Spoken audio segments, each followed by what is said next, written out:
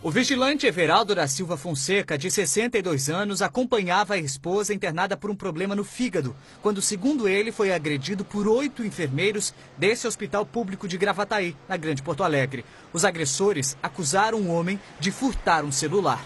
Disseram que tinha sumido um celular que era o negro que tinha roubado o celular. Revistaram a minha mulher, revistaram as fraldas, a coberta, tudo. Além da equipe de enfermagem, Everaldo também acusa um segurança de racismo. Ele conta que foi arrastado para uma área restrita, onde foi agredido com socos e empurrões. Eu levei vários cotovelaços nas costas do, do guarda, apanhei o das mulheres tudo, me levaram para uma salinha, me, me expulsaram de dentro do hospital tudo. Maria Gonçalves Lopes, de 55 anos, a esposa de Everaldo, viu parte das agressões sem poder fazer nada. Ainda durante a confusão, ela tentou gritar o socorro, mas sofreu uma parada cardíaca e morreu.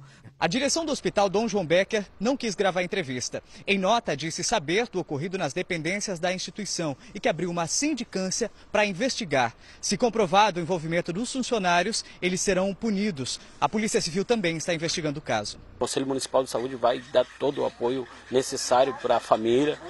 A gente está ajudando, então nós esperamos que eh, a justiça seja feita é, que os fatos sejam apurados e que os culpados sejam punidos. Que tudo seja apurado e que o caso não seja esquecido.